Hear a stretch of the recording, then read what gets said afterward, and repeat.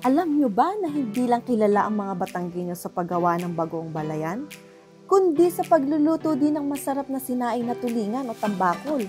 Nasubukan nyo na ba na magluto ng ganitong dish? Excited na ba kayo na matutunan kung paano lutuin ito? Today, magluluto tayo ng sinaing na tambakol. So, marami ang nag-aabang niya kung paano daw lutuin yung sinaing na tambakol ng mga taga Batangas. So, ituturo ko sa inyo yung process. Napakadali lang at ito yung ating magiging hapunan.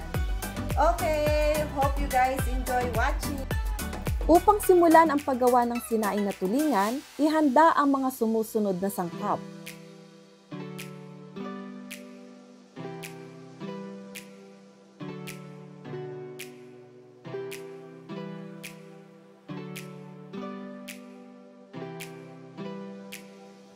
I am a great fan of garlic for the health benefits aside that we can use as medicine for colds or flu. So, lalagyan natin siya ng 5 cloves of garlic. I-mash lang natin siya ng konti, pandagdag lasa.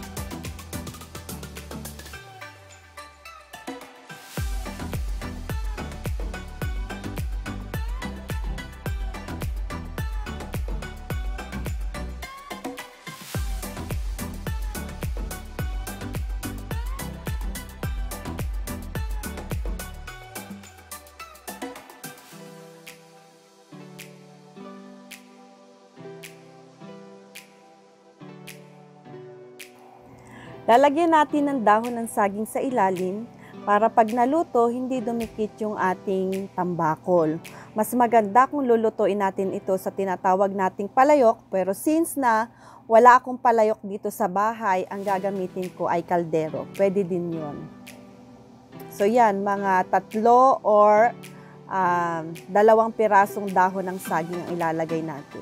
At pagkatapos, lagyan natin ng asin, ang ating tambakol. Medyo marami ng konti, hindi siya, or sapat lang na asin para hindi naman sobrang alat. So, bawat piraso lalagyan natin ng asin. So, asin lang, salt and pepper, ang ating pangunahing uh, spices dito, at yung ating garlic na magpapasarap, at saka yung ating pepper, yung pangsigang na sili or siling haba. Siguraduhin lang natin na nalagyan natin lahat ng asin ang ating tambakol para mas malasa.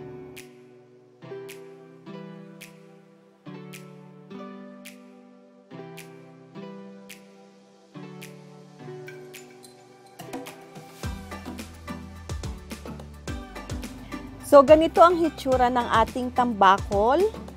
Ayan, naisalansa na natin at pagkatapos ay lagyan na natin ng tuyong kamyas or tinatawag nating kalamyas. Itong kalamyas ang magsisilbing pampaasim natin. So, wala na tayong ilalagay ng mga vinegar or kung ano-ano. Kalamyas lang yung pampaasim natin.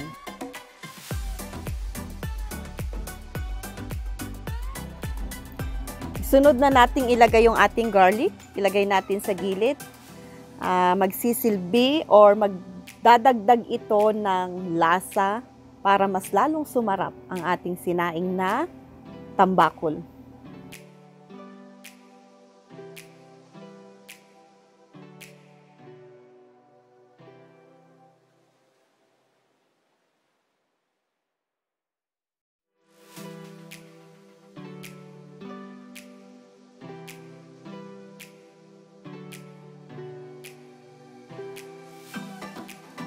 Dagdagan natin ng asin sa ibabaw para pag malapit ng maluto, pwede natin kunin yung patis at magamit natin na sausawan. Masarap siyang sausawan. Then, lagyan din natin ng black pepper.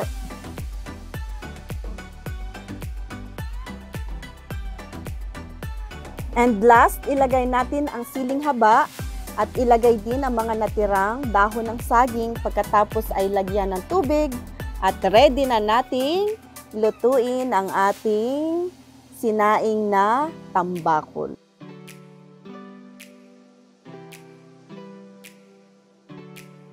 sinaing na tulingan.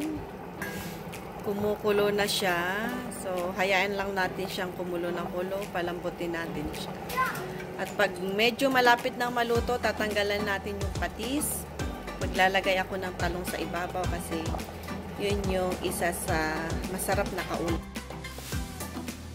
Guys, wag nyo rin kalimutan na mag-like at mag-subscribe at pindutin ang notification bell para laging updated sa mga videos na ia-upload ko. Kulong-kulo na siya at medyo malapit nang maluto yung ating sinaing na tulingan kaya pwede nating tanggalin yung patis para mamaya pwede natin siyang sausawa ng ating talong na ilalagay natin sa ibabaw.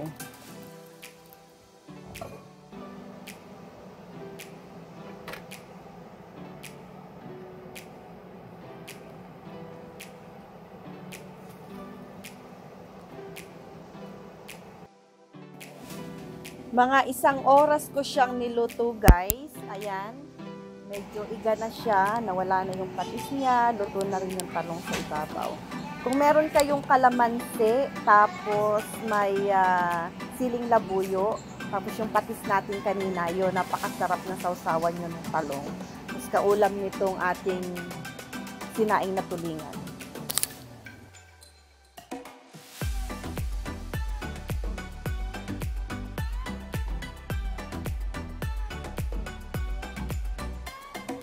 For sure, sira na naman ang diet natin ito. Pag ito ba naman yung ihahain sa atin, na talaga namang madalang nating matikman.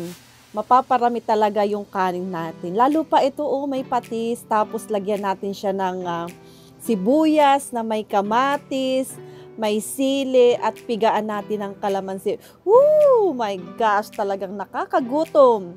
Kayo ba'y nagugutom na rin, guys? So ito, sundan niyo na kung ano yung process ng ating pagluluto ng sinaing na tulingan para kayo din ay makatikim ng sinaing na tulingan. At balitaan nyo ako, huwag nyo kakalimutan na mag-comment sa baba kung ano yung lasa ng inyong sinaing na tulingan. So, next video again guys. Thank you so much for watching. Ito si Eileen na talagang mahilig magluto at palaging nasa kusina. Thank you!